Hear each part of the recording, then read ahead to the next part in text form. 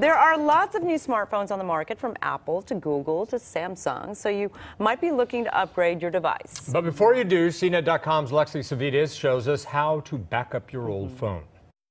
Before you upgrade to a new phone, take the time to back up your old one so you don't lose valuable photos, videos and contacts. The easiest way to do this is through the cloud. For Apple phones, go into Settings and tap your name. Find iCloud and tap iCloud Backup, then start the backup process.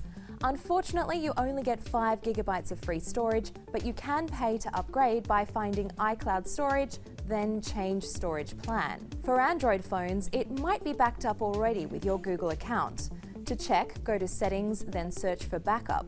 Make sure Backup to Google Drive or Backup My Data and Automatic Restore are both selected. Samsung owners can also do the same with a Samsung account from the Settings menu. To avoid the cloud completely, you can do a local backup by connecting your Apple phone to a computer and then going through iTunes.